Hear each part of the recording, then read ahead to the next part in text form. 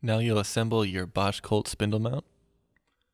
Start by putting V-wheels onto the screws provided, followed by aluminum spacers. Then stick the screws through the holes on the plate.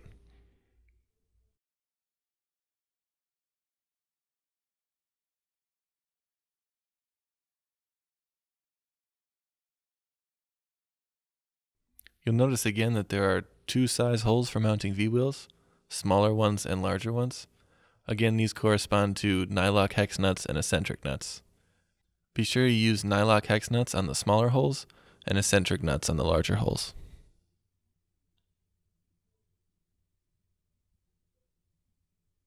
Start by finger tightening the nylock nuts. Then put the eccentric nuts in, again making sure that the shoulder faces the plate so that it can get seated in the larger hole.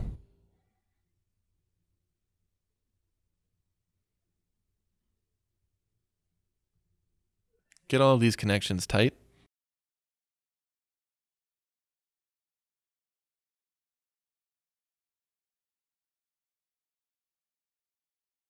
And then make sure that the eccentric nuts are oriented out and away from the V-wheels with the nylock nuts. Now we'll attach the Bosch Colt mount to this plate. Use small screws from the back side of the plate into the threaded holes of the Bosch Colt mount.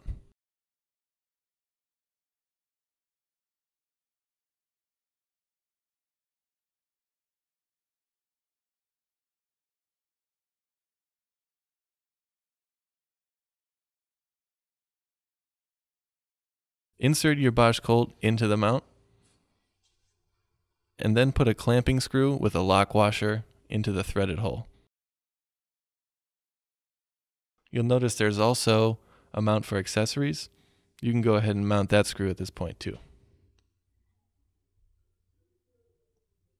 Slide the Bosch Colt out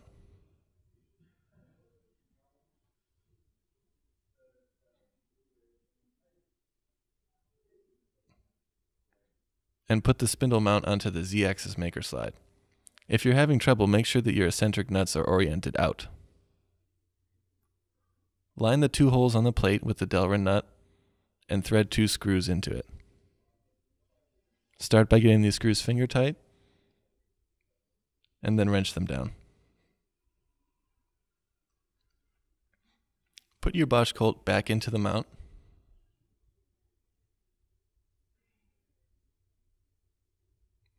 and tighten the clamping screw as hard as you can.